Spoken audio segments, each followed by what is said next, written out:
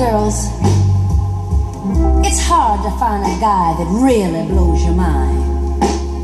And you just dig everything he does, like, like when he gives you that great big special hug and that mm, heavy kiss. Girls, you know the kind. The kind that's in the wrong place at the wrong time, and it really turns you on. Well, I had a guy like that.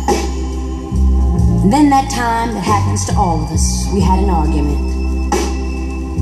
And like all, and I mean all us girls, I said some pretty dumb things like, like get lost. I don't want to see you anymore.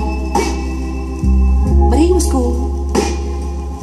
He just stood there looking so hurt. And he said, if that's the way you want it.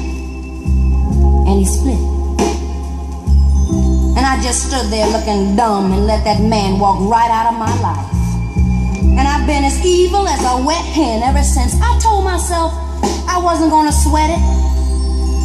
But I did. Oh, he was inside of me. And my thoughts, my dreams, every place I went, I saw his face. And my friends, they knew. I know they knew. And then one evening I was standing at the bus stop and I heard a voice behind me say, Hi, baby. Oh, I just fell all apart inside because I hadn't heard that voice in such a long time. I turned around and there he was, looking good. Oh, I just can't tell you how good that man looked to me. And as I stood there trying to maintain myself, he asked me if I had a few minutes. I really wanted to tell him that I had a lifetime, but I couldn't blow my cool.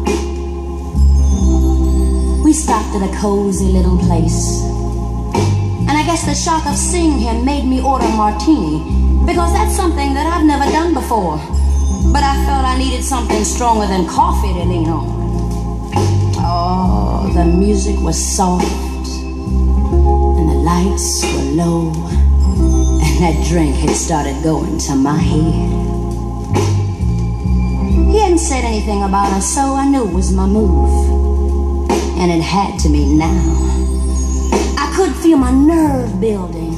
I couldn't let him go, not this time. Not this time. So I took his hand, looked him straight into the eye. And I said, I said, I said,